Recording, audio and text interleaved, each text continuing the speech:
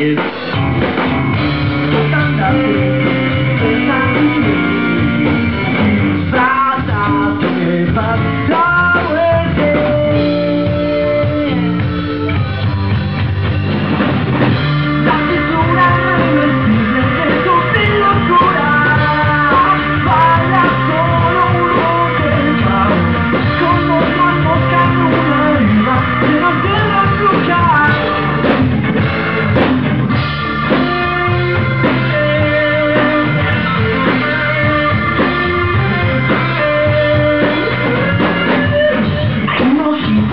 son voces Dios,